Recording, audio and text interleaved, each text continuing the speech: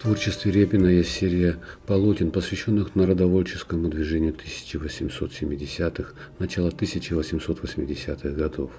Она отличается необычным соединением реального и евангельского сюжетов, что было совершенно уникальным явлением и для самого художника, и для всей русской живописи второй половины XIX века –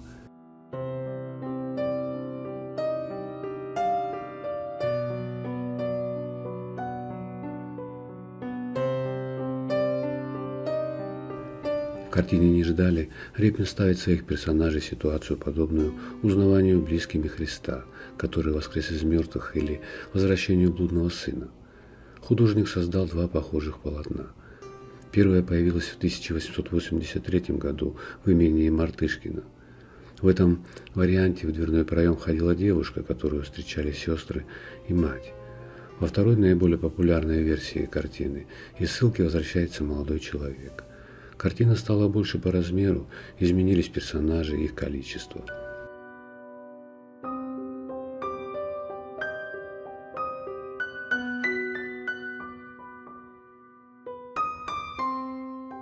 На холсте изображена интимная семейная сцена.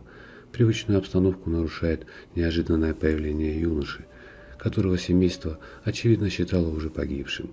На привставшей с креслом матери надето траурное платье. Фигура женщины настолько выразительна, что художник не показывает ее эмоции.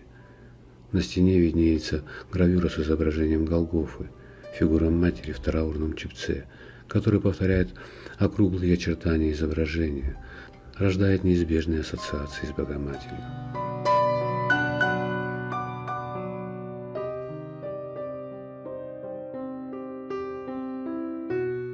На лицах остальных членов семьи написано глубокое душевное потрясение. Мальчик, сидящий за столом, удивлен и заинтересован, в то время как девочка, сутулившись, смотрит на гостя с недоверием и испугом. Ее глаза настолько белесо-голубые, что кажется, будто в них нет радужки, только черные точки зрачков. Изображенная сцена словно схвачена на лету, движения всех персонажей замерли и находятся в самом начале развития. Революционер едва перешагнул дверной проем. Старушка только привстала с кресла и готова пойти ему навстречу. Жена секунду назад обернулась.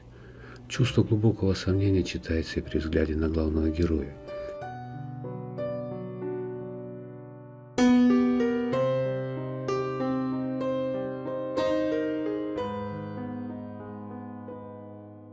Репин переписывал его трижды, придавая то героический, то страдающий, то усталый вид и, наконец, остановился на неуверенности. Ощущение неустойчивости помогает сформировать и композиционное решение холста. Он делится на две части, что подчеркивается разным уровнем горизонта и легко прослеживается через перспективу передачи досок на полу. Изображение юноши написано под иным углом, к плоскости пола, чем остальные фигуры –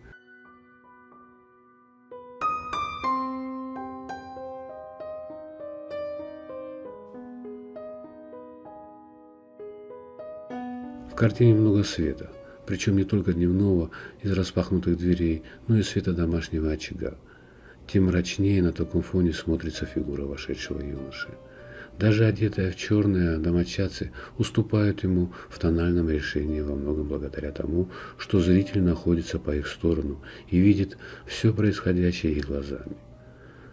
Замотанный шарф воспринимается как напоминание о висельной веревке – которая еще недавно могла затянуться на его шее.